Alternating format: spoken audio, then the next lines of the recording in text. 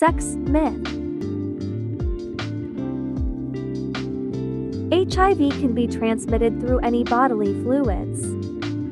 Sex fact.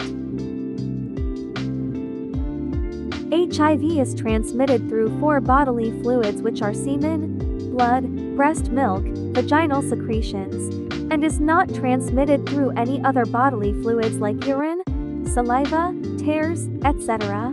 Thanks for watching. For more myth and facts video, please like and subscribe.